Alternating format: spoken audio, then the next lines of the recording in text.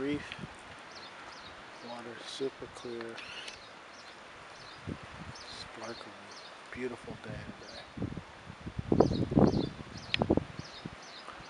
The other island